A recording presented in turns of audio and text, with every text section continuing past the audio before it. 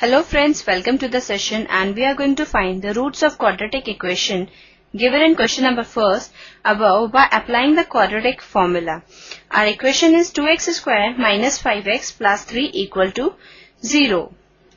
Before starting with the solution, I would like to tell you the basic idea behind the question. If ax square plus bx plus c equal to 0 where a is not equal to 0 is a quadratic equation then d equal to b square minus 4ac where d is discriminant and its roots are given by alpha equal to minus b plus square root of d upon 2a and beta equal to minus b minus square root of d upon 2a. Now let's start with the solution.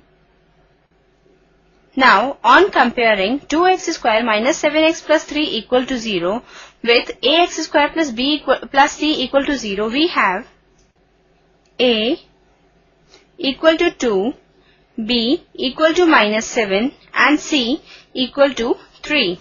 Therefore, d equal to b square minus 4ac or it can be written as minus 7 square minus 4 into 2 into 3.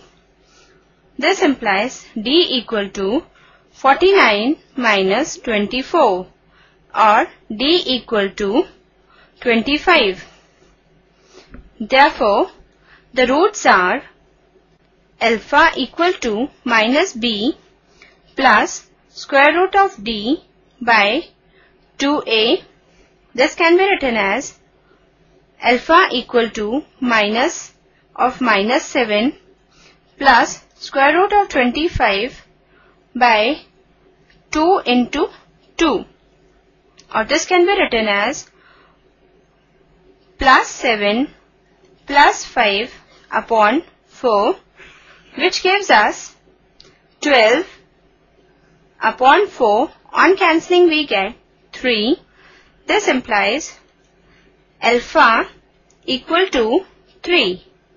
Similarly, we calculate beta. Beta equal to minus b minus square root of d upon 2a. It can be written as minus of minus 7 minus square root of 25 upon 2 into 2. This gives plus 7 minus 5 upon 4 or this can be written as 2 upon 4. This implies beta equal to 1 by 2. Therefore, the roots are 3 and 1 by 2. Hope you understood the solution and enjoyed the session. Goodbye and take care.